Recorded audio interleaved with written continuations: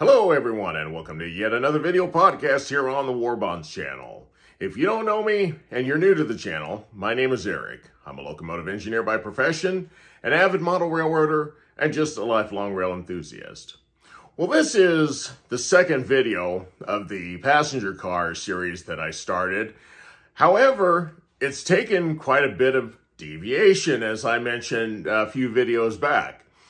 Um, I started out wanting to do a 10-6 sleeper, which means 10 roomettes, the smaller uh, rooms, and then six of the more deluxe rooms. Well, as I was doing more research and looking at more pictures and just trying to figure out how I'm going to put all this together, I really started having some doubts about wanting to go in that direction. And as I've said before, I'm a modern guy. So doing a passenger car, how is this going to work into my agenda per se?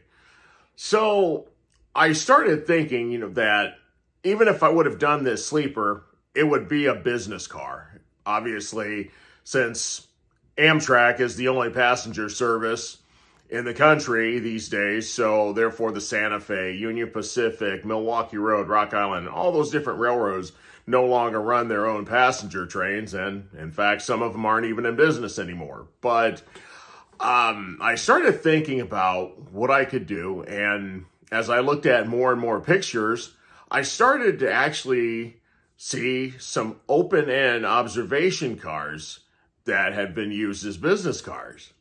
I thought, hmm, this sounds pretty good, actually.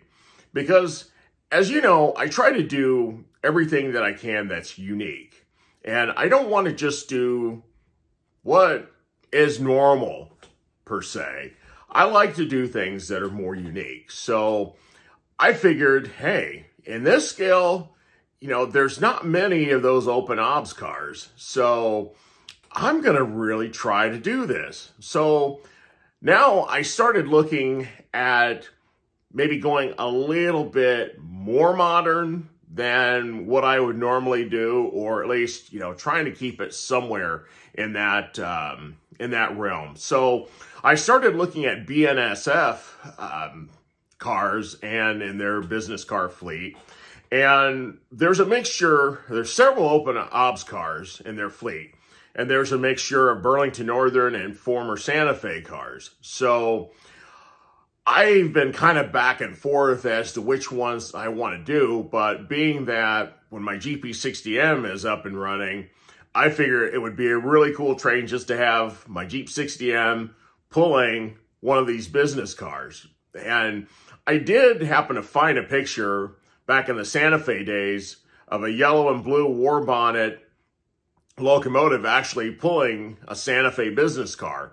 And I failed to save that picture, but I thought, okay, this is prototypical evidence that something like this would happen. Now, there are times even in these modern days where you'll see a locomotive and you'll see what we call a buffer car, which could be like an old grain car or a box car, uh, something that isn't used in revenue service anymore, but they'll put it between the engine and maybe they'll have one or two business cars. And one of those cars is what's called a track geometry car. The track geometry car actually goes along as the train's moving. It's got sensors that essentially read the rails and reads for any kind of defects by using kind of like a um, kind of like an ultrasound per se for the rails. So this equipment can read the rails and see if there's any defects that can't be detected, you know, by just visually or anything like that. So that's how they know where there are defects. Of course, we as railroaders hate those things because they're a necessary evil per se. And I don't really want to say they're evil, but we call it a necessary evil because when we're going along and we're looking at our paperwork, uh, well, I should say before we even get started on a train, when we start looking at our paperwork, we look at where all the speed restrictions are. And what I mean by that is the temporary speed restrictions because maybe there's a rough spot in the tracks or the track geometry car has been out there and has found several defects. So that means, oh, great. Now we got to slow down for all these different new speed restrictions. But obviously, it's for our own good, for the safety of everybody involved. So anyway, with that said, I actually thought about doing a track geometry car just because it's just kind of a cool concept to model. But like I said, the observation car idea came about and I thought, I think this is what I want to do. Now, here's the, the rub that I'm going to give because I'm a realist in everything that I say. And if I make a mistake and somebody corrects me on it, I'm humbly willing to accept my mistake and learn from that. However, in doing this, there are so many variations of passenger cars that have been created over the years. And what by the time I got my car started, I had done a few things that probably wouldn't fit into being totally correct uh, with some of the prototype cars because there's cars that have, you know, like taking this car, for instance, there's cars that have straight windows all the way across. There's cars that uh, have windows that come across and then maybe by the time you get to the end, the window height raises a little bit. They're bigger windows or the windows kind of do a little zigzag pattern. So you just really never know. So I have probably got a few little mistakes that I've made, but at the same time, I look at it this way, and I guess as I'm getting older, maybe I'm giving up the rivet counter uh, mentality that I had. Not to say that it still doesn't exist in me, because I try to make things as as correct as possible, but when you're actually building something totally from scratch, well, sometimes you can't always do everything that you want to do. So I try to do the best I can, but looking at all the different options that I have, I'm trying to go with the best option to make a representation as close as I possibly can. And even when I go back to my childhood and I look at uh, old issues of railroad model craftsman or model railroader. Um, back in those days when they had an article about a, a, certain car, somebody kit bashed a car or somebody scratch built uh, a car or a locomotive. And at the end of the article, they'd say, well, you know, not everything is totally correct on this, but I've done the best that I could to make at least a close enough representation of what I wanted to showcase. And basically, that's the same philosophy that I'm going on. So by the time this is all said and done, I think that I can make a really, really good looking car. Now, one of the things that I will also say, as the realist I am, is that when I put the sides together uh, for this car, there were some things that didn't go together as well as I wanted. And case in point, so as you know, I took the sides and made them in three layers per se. So the bottom layer, the center layer, and the top layer. Okay, so what I mean by that is I cut two pieces of wood, one for each side, to represent the bottom. And then I cut out the window spacers so that I could have some nice clean windows instead of trying to take a jigsaw or something like that and cut the windows out individually. That just wasn't going to happen. But I had those, and those would be glued on top of the bottom layer. And then, of course, I would put the top layer over the top of the window spacers. Great concept. It's what I used when I did the Rock Island caboose. Everything worked out fine. But in this case, I don't know what happened. Um, when I put the window spacers on top, everything came out just fine. But when I went to put the top layer on, all of a sudden I found that I had gaps in certain areas. So I don't know if my my wood maybe bowed a little bit. Um, and that's a big possibility because, you know, the temperature is cold and I did have some of my stuff out in the garage for a little bit.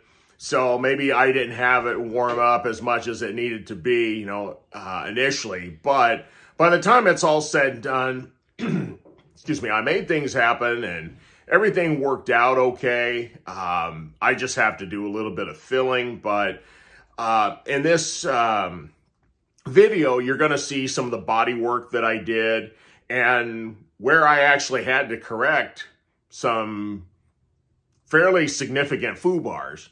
So this is not going to be one of those videos to where I tell you that, oh yes, so, you know, like the old uh, game of connect the dots. Okay, we went from here to here to here to here and everything was right on time, right on schedule, and uh, everything fit together just perfectly. No, that did not happen. And as we get into this video, you're going to see exactly what I meant by that. So what we're going to do is go back a few days and we're going to head out to the front yard where I brought my tabletop belt sander, my hand belt sander, and just whatever else I needed to try to get these sides straightened up. Because initially it's like, oh gosh, these look like crap. Well, am I going to be able to save this? And I think I did a pretty decent job at doing so. So anyway, we're going to start out with that.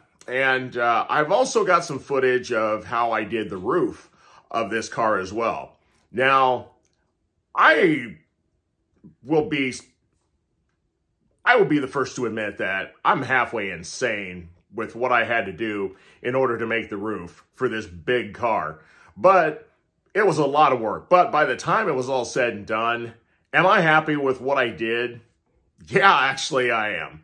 Now, it's a process that has taken days and um, at, at this point, I'm not quite finished yet. I still have some work to do, but I'm going to show you what I've got done so far, and we'll just kind of go from there. So anyway, this second video of this passenger car series is now about building an open arms BNSF or maybe Santa Fe. It still may be a Santa Fe car, depending on how I'm able to do things. But anyway, it is a business car. And uh, let's go into some of the work and we'll reconvene afterwards. Okay, I lied. We're not going out to the front yard just yet because I wanted to address something. First of all, I always tell you that I'm very appreciative of all of the kind words and comments that you guys leave and following me on this journey, whether you found my channel by accident or you're somebody that I know outside of YouTube, I really appreciate your support and your encouragement to the channel. However, in addition to the encouragement and the positive comments, I've had a few negative comments. And many of the comments, well, I shouldn't say many because there's only been a handful, literally, of comments of people who don't like the fact that I put music in my videos.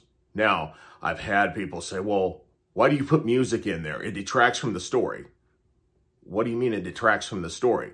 Are you going to go to a movie and say that, oh, they shouldn't put a film score in there? Or, I don't know why you YouTubers put music on in there. You need to nix it. Well, I do it because I can. But the way I'm going to respond to those comments is this. And ladies and gentlemen, you're listening to WERC Smooth Jazz. It's now 30 minutes past the hour of 10 a.m., and I'm your host, DJ E. Nice. Coming up in the next half hour, we have music from The Rippingtons, Brian Culbertson. But right now, we're going to hear some music from Special EFX here on Smooth Jazz, WERC.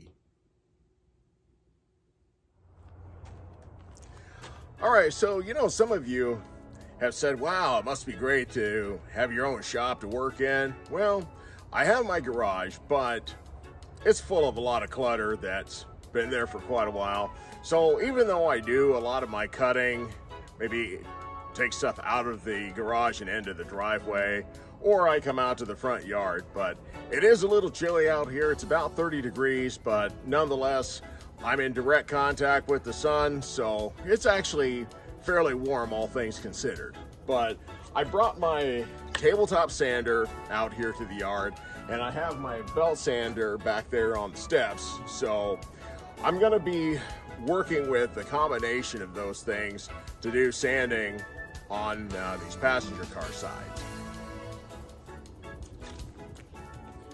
Okay, so one of the things that I want to show you is that not everything I do starts out as well as it is when I show you a finished product. So I'm going to show you that unfortunately, I don't know if we can kind of see that or not, but there's a bit of a uh, misalignment here. Oh no, there it is.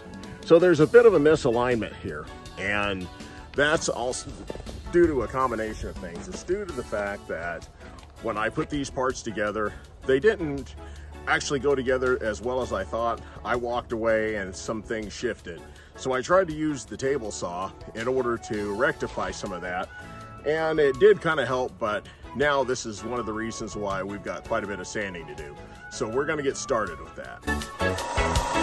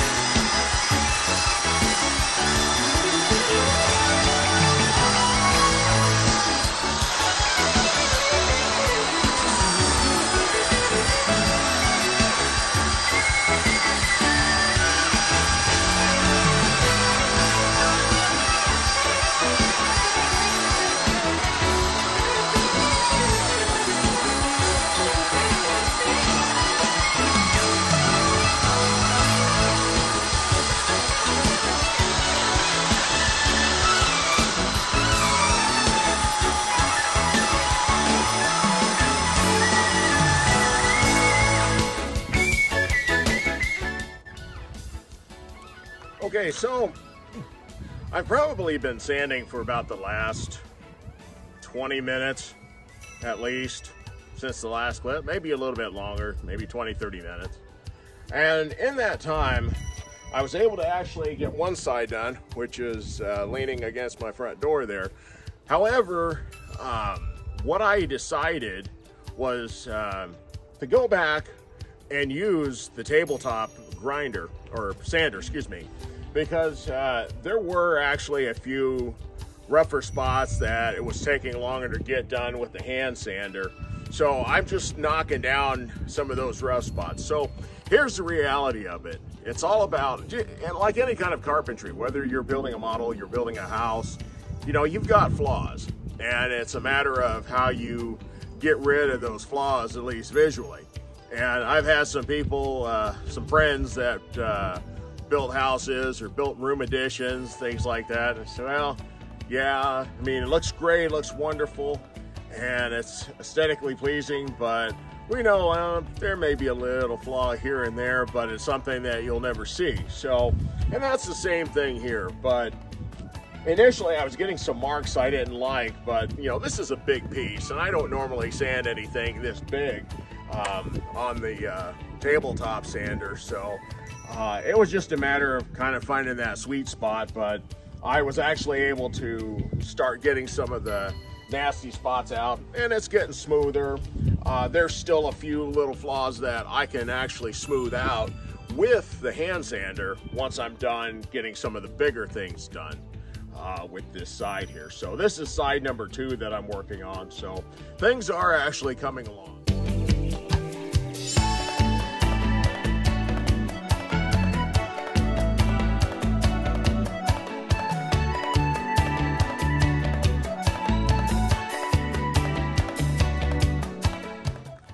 So welcome to the driveway. Well, as you can see here, I'm bringing you the good, the bad, and the ugly. Now, we're working on the roof here, so this is the ugly. However, it's going to be good. But um, what I wanted to take a moment to show you is what we've got so far here as far as getting about half of the roof um, at least sort of contoured anyway, at least the basic shape of the rounded roof. And then you see these square, uh, or excuse me, rectangular uh, blocks as well. So this is what these have started out with. So I'm gonna actually take you through and show you exactly how this process is done. Now, granted that I'm showing you in a few minutes in this video how it's done, the reality is this is going to take hours to do. But we're at least gonna show you how I've gotten even to this point here. So the first thing we're gonna do is take the table saw and we're gonna cut out the basic structure of the blocks.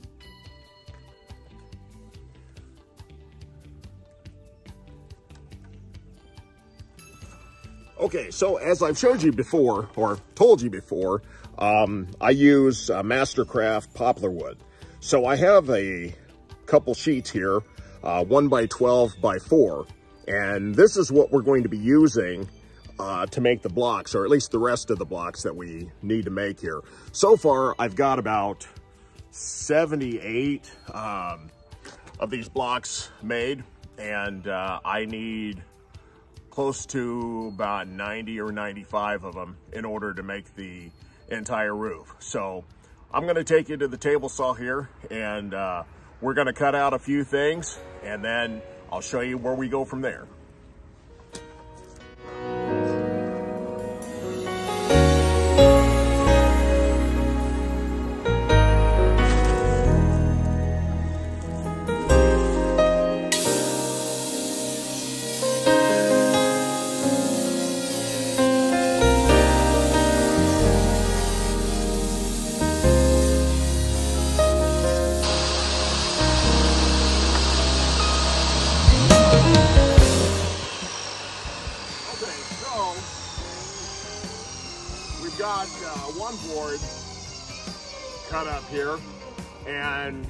The same with the second board and then we'll go into the chop saw and then uh, see how these are cut down. Okay, so I'm taking three boards at a time here. And I'm gonna take just a uh, scrap piece of wood here, just to get the ends all together and flush.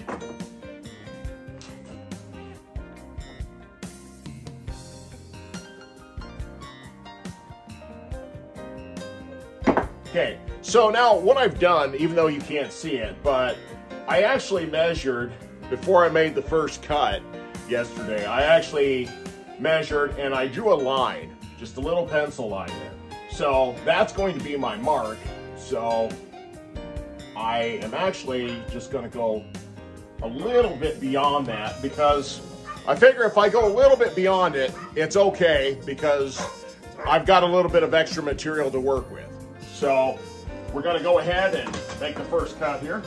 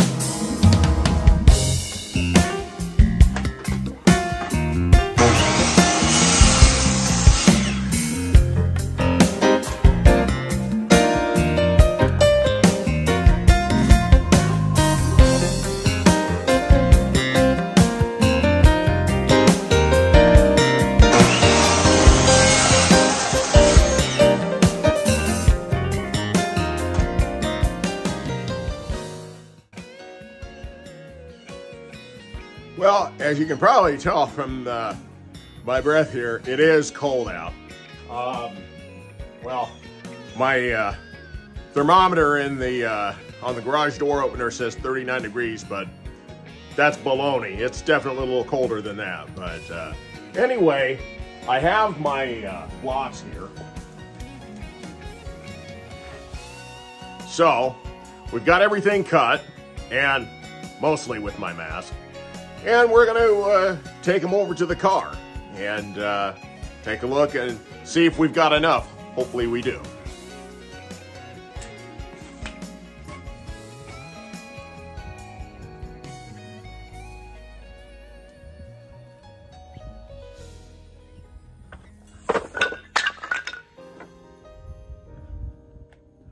Well, it's a good thing that these are getting cut up, so at least if I have any dents or anything like that in them, most of that stuff will get cut off anyway. This is also the reason that I use poplar wood because, you know, even just in transporting or a derailment or something like that, if it gets bumped, this is gonna be much sturdier wood than pine, which is gonna uh, just breathing on it sometimes. It's so soft that it's going to leave an indentation so. But we're good here. We got a couple marks here but like I said they'll get cut off anyway. So let's see here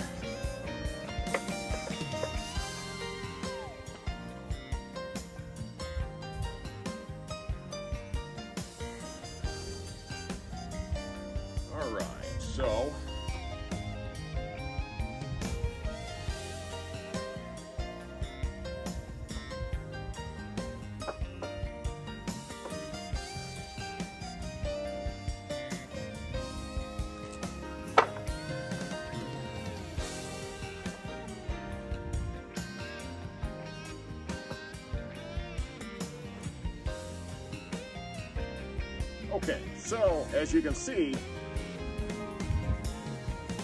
we're going over the edge here, but because this is going to be an open observation business car, we have to allow for some roof line to go over the actual obs section itself.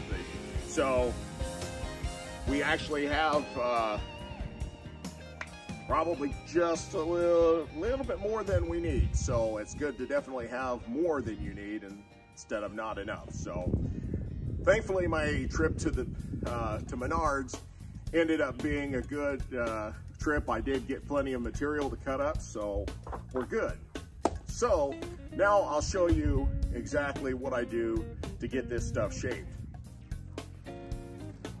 Okay, so basically what we're gonna do here, we're gonna take a piece like this here. Now, because I have the end here, and if you remember a couple episodes ago, when as we were getting this started, um, I made sure that I cut each of these sides and machine them just right so that they're perfectly symmetrical. Okay, so since we have a fully symmetrical end here, I'm just going to take this. Now, I cut these pieces about two and a half inches high, so that's just a little bit more than we need. Okay, so we're gonna take our pencil here.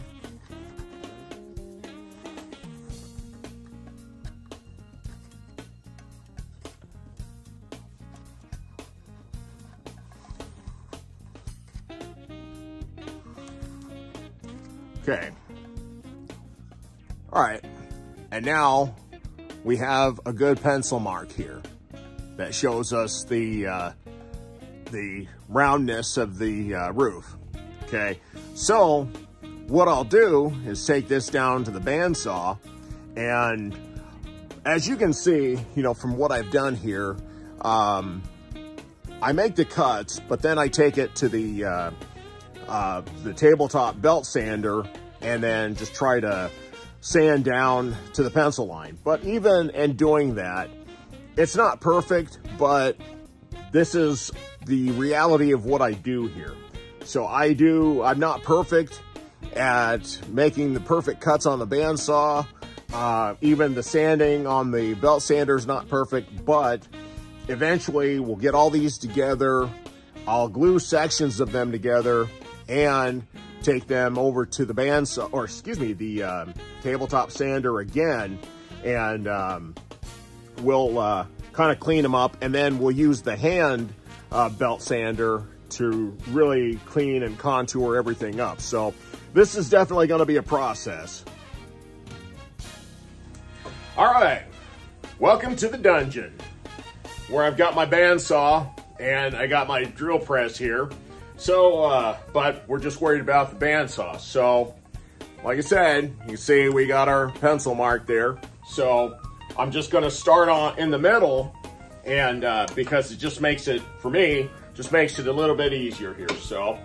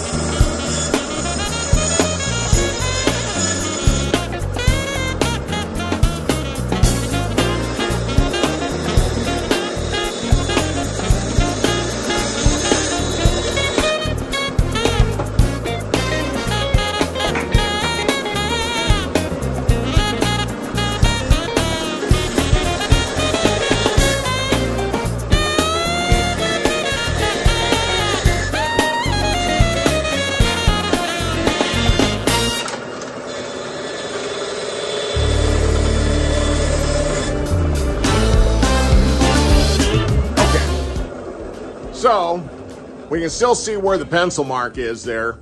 And like I said, I just like to give myself a little bit of extra room there just to sand it down. Uh, that way I'm not cutting too much, but doesn't mean that I don't over sand either. But uh, either way, you know, as you can see on the existing roof, there are some imperfections in the way things are sanded and cut, but like I said, we'll go through later on once we get all of these done and um, we'll get it, I'll put everything together in sections, use the tabletop uh, sander to sand everything down and then use, put those sections together and then use the hand belt sander to try to really even things out. So it's definitely going to be a process, but uh, we'll uh, go up to back to the garage, go up to the sander, and then I'll show you how we'll straighten this out a little bit. Okay, so we're back up to the garage, and said we got our piece here that we just uh, uh, did a little cutting on with the bandsaw. So now we're going to use the, the yeah, we're going to use the tabletop sander in order to straighten this up down to the pencil mark a little bit better. Now,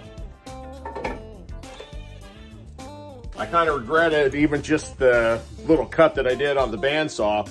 Kind of regretted not having the mask on because when you can smell it, you know you're breathing it in. So we definitely want the mask on sanding this.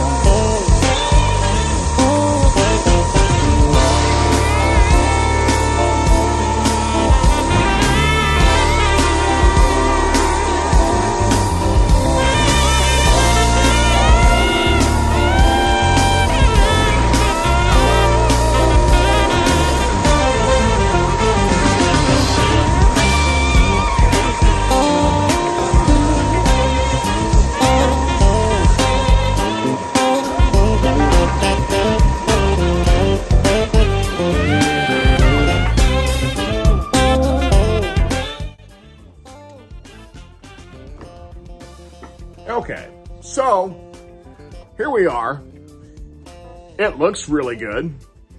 It almost looks looks a lot better than some of the ones I did yesterday. Um, now, what I did also is to grab myself a heavier grit uh, sandpaper or belt paper. So ideally, I would have enjoyed having 40 grit, which is very, very coarse. But the best I could find at Menards was 60. So I think they were out of anything more coarse than 60. But 60 also beats the 80 that I was using yesterday. And unfortunately, um, I didn't take long to go through just uh, the one sheet of 80 I had. So I bought two sheets of 60 grit. So hopefully that'll get me all the way through. Probably not, but we'll see what happens. But anyway, let's go back out to the model now.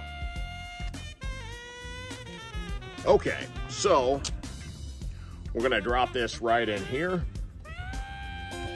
And look at that. Pretty smooth. Now, there is gonna be a little bit of sanding. There's probably, let's be honest, there's probably to be a little bit of this that gets knocked down too because, you know, there are some imperfections, but just move everything closer together here. And even though, like I said, this, you know, is, is the good, the bad, and the ugly. The good is it actually has some shape to it. it it's getting there. Um, the bad is that, yeah, things didn't really go as perfectly as as it wanted to, but like I said, we'll clean that up a little bit later. The ugly is it takes almost a hundred of these little pieces to make this roof line. And, you know, there might have been an easier way to do it. I don't know. But you know what? This is a wood car. I'm making everything out of wood. So therefore, it is what it is. And I'm still happy with what's going on.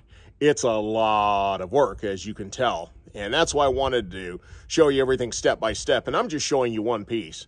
But, you know, I've got to do 90 some of these. So, um, yeah, that's the ugly right there. but, uh, um, it's going to take a little bit. But, uh, like I said, it's uh, a little chilly outside here. But I at least wanted to bring this out um, to show you what was going on and demonstrate how I'm making every piece as I do this. So I'm going to uh, take all these uh, blocks inside and take this car back inside, which this sucker's heavy already, by the way. Um, I'm not sure how heavy it is, but um, I would say this thing has got to be at least 50 pounds already. So and that was even before the wood that I cut that I just showed you on camera here.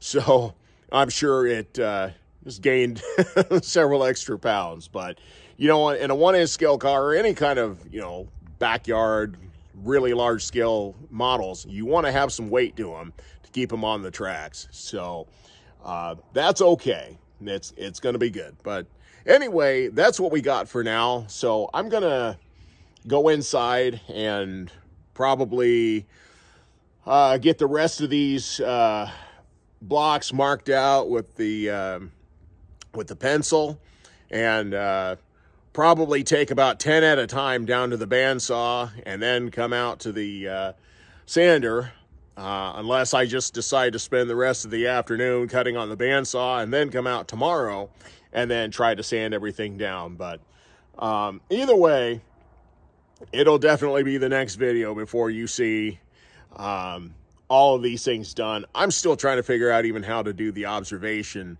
uh, section of it, but uh, it'll be good. I, I, think it'll all come out just right. So anyway, well, that's what I got for you today. Thanks for watching. And if you're new to the channel and you enjoy this content and this artistic creativity, I guess, is what I'm trying to pull off. If you enjoy that, I ask you to please like and subscribe. And for all of those that have been with me for a while, I really appreciate your support and your kind words. And we'll talk to you in the next video. So long.